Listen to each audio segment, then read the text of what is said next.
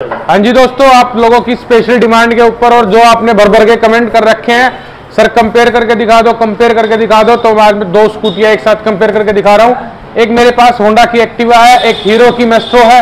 ये 125 सीसी में आती है, ये 110 सीसी में अंदर आती है, लेकिन इसके अंदर एक वेरियंट और आता है, जो 125 सीसी के अंदर है। एक नई वीडियो आएगी, जिसके अंदर हम दोनों 125 सीसी इंजनों को कंपेयर करके वीडियो बनाएँगे।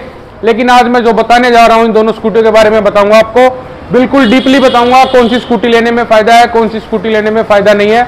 कौन सी स्कूटी की मार्केट है, कौन सी की मार्केट नहीं है, सारे कंपेयर आपको एक वीडियो के अंदर मिलेंगे।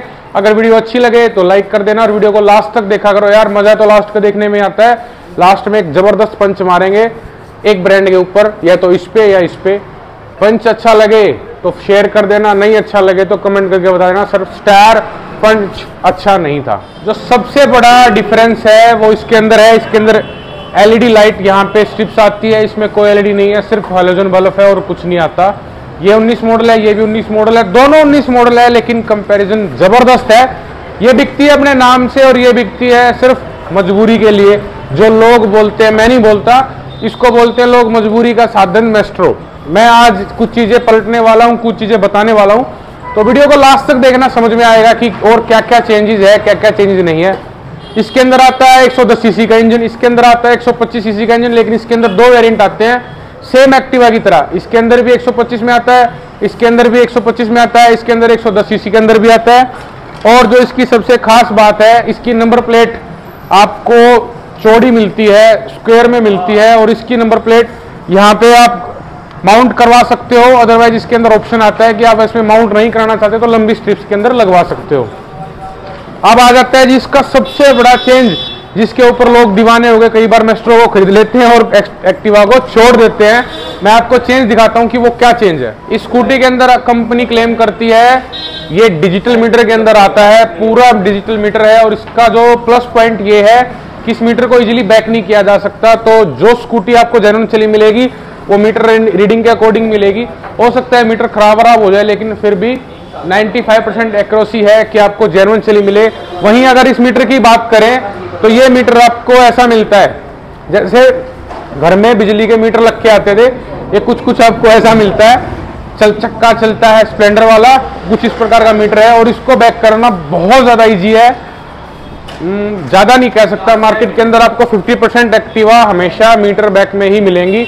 लेकिन हमारे पास ऐसा कुछ नहीं है। जी हम जेनुअन रीडिंग के साथ ही स्कूटी बाइक जो भी चीज़ है उसको सेल करते हैं, कई बार हम रिकॉर्ड भी पेश कर देते हैं कस्टमर के आगे कि कितनी चली हुई है बाई रिकॉर्ड चेक कर लीजिए, हमें कोई दिक्कत नहीं है जी। अब आ जाती है जी इसके ऊपर सबसे बड़ी बात, जो कंपनी अभी देने लगी है, लेकिन इसके अंदर मैस्ट्रो बहुत साल से दे रही है कि कस्टमर को पेट्रोल डलवाते वक्त उठना नहीं पड़ता, पीछे से फ्यूल कैप खुल जाता है और डल जाता है। ये हमारे पास 19 मॉडल है, लेकिन आज भी इसकी डिग्गी खोल के ही इसके अंदर पेट्रोल डलता है।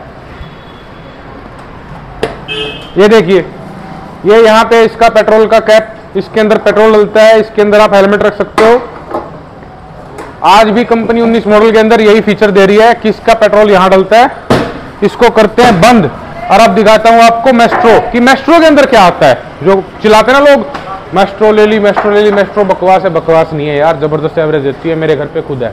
अब मैं आपको दिखा देता हूँ इसका पेट्रोल कैप कैसे खुलता है। ये खुल गया जिसका पेट्रोल कैप आपको उठने की ज़रूरत नहीं पड़ेगी, यहाँ से इसका पेट्रोल का ढक्कन खुल जाएगा, पेट्रोल डल जाएगा, स्वाद आ जाएगा जी, ना आपको उतरना पड़ेगा।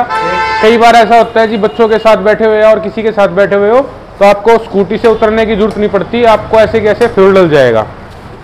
बहुत सारे लोग बोलते हैं कि पेट्रोल पीछे डलने से या डिग्गी खुलने से डलने से कुछ फ़र्क नहीं पड़ता, और कहीं ना कहीं ये बात सच भी है कि सेफ्टी बनी रहती है पेट्रोल पंप पे अगर आपके साथ बच्चे बैठे हुए हैं तो उतर के अगर पेट्रोल डलेगा तो बेटर रहेगा, आपके जीवन की सुरक्षा बनी रहेगी। बारी आती है अब इसके नए वेरिएंट के बारे में बताने की। इस कम मैस्ट्रो के अंदर कंपनी क्लेम करती है कि हम अलाई व्हील देते हैं और ये देती है स्टील रिम बीते ज़माने से स्टील रिम देती आ रही है, आज तक स्टील रिम के अंदर ही दे रही है। जब 2006 सात में आती थी एक्टिवा तभी भी ऐसे थी, आज भी ऐसे है, लेकिन मेस्ट्रो टाइम के अकॉर्डिंग चेंज होती रही। नई नई चीज़ें कस्टमर्स को देती रही। आज मेस्ट्रो इतनी सक्सेस नहीं है, लेकिन अपनी चीज़ें देने में वेरिएंट अच्छे देने में फैसिलिटी देने में बढ़िया स्कूटी है, मैं पर्सनली यूज़ करता हूँ। बहुत बार मैंने वीडियो के अंदर बोला है, और किसी दिन मैं अपनी स्कूटी को दिखाऊँगा अभी कौन सी स्कूटी में। पाँच छः साल से यूज़ कर रहा हूँ स्कूटी ज़बरदस्त है जी, मेरे को चलाने में मज़ा इसमें ज़्यादा आता है। लेकिन एक्टिवा का अपना अलग मज़ा है। ब्रांड वैल्यू है, आप आधी रात को बेचना चाहोगे तो आपकी एक्टिवा बिक जाएगी मेस्ट्रो बेचना चाहोगे, सत्तर धक्के खाने पड़ेंगे, लेकिन मेस्ट्रो नहीं बिकेगी। ऐसा बहुत सारे लोग बोलते हैं लेकिन ये सच नहीं है भाई, आज के टाइम में अवेयरनेस बहुत ज़्यादा हो गई है, लोग समझ जाते हैं कौन सी चीज़ बिक जाती है, कौन सी चीज़ नहीं बिक जाती, बिकता सब कुछ है। यहाँ आदमी बिक जाते हैं, ये तो फिर भी बाइकें हैं, सब कुछ बिक जाएगा, कोई दिक्कत नहीं है। अब बारी आती है इन दोनों के प्राइस के बारे में। दोनों स्कूटियों का प्राइस जो नई स्कूटी है, वो नाइन्टी थाउज़ेंड के अराउंड आती है।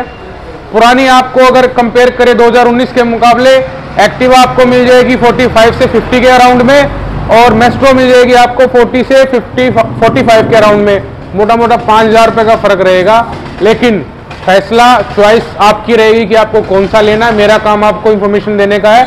अगर आपको मेरी वीडियो अच्छी लगे तो वीडियो पे एक लाइक कर देना और ज़्यादा से ज़्यादा लोगों के साथ स्प्रेड करो। जितनी वीडियो स्प्रेड होगी, उतनी लोगों तक पहुंचेगी। और एक बार मेस्ट्रो जी जिसके पास है कमेंट करके बता दो, भाई जी, मेरे पास भी मेस्ट्रो है।